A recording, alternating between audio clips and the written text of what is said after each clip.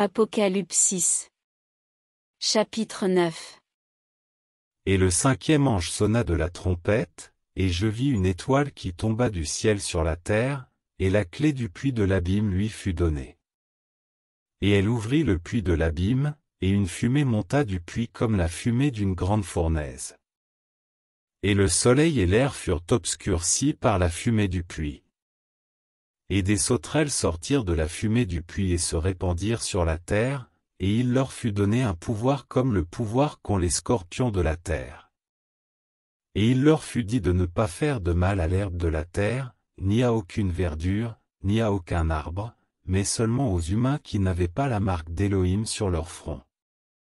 Et il leur fut donné, non de les tuer, mais de les tourmenter pendant cinq mois et leur tourment est comme le tourment du scorpion quand il pique un être humain.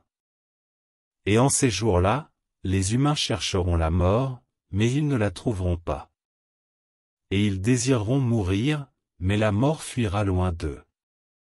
Et ces ressemblances de sauterelles étaient semblables à des chevaux préparés pour la guerre. Et sur leur tête, il y avait comme des couronnes semblables à de l'or, et leurs faces étaient comme des faces d'humains. Et elles avaient les cheveux comme des cheveux de femmes et leurs dents étaient comme celles de lion. Et elles avaient des cuirasses comme des cuirasses de fer et le bruit de leurs ailes était comme le bruit des chars à beaucoup de chevaux qui courent à la guerre. Et elles ont des queues semblables à des scorpions et des aiguillons, et c'est dans leur queue qu'était le pouvoir de faire du mal aux humains pendant cinq mois. Et elles ont sur elles comme roi, l'ange de l'abîme, dont le nom en hébreu est Abaddon, mais en grec son nom est Apollyon. Le premier malheur est passé. Et voici que deux malheurs viennent encore après cela.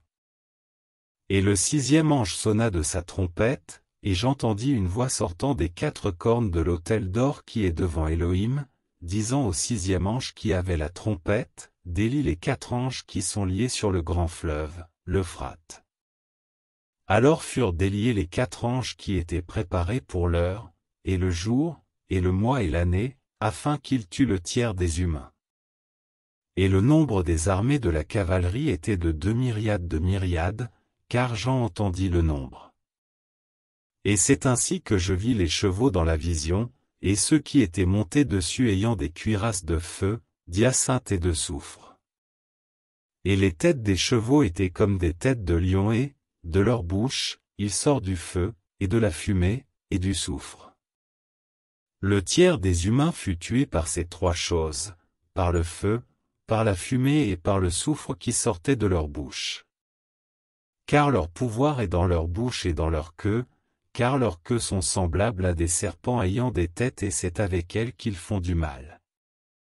Et les autres humains qui ne furent pas tués par ces fléaux, ne se repentirent pas des œuvres de leurs mains, pour ne plus adorer les démons, et les idoles d'or, et d'argent, et de cuivre, et de pierre et de bois, qui ne peuvent ni voir, ni entendre, ni marcher.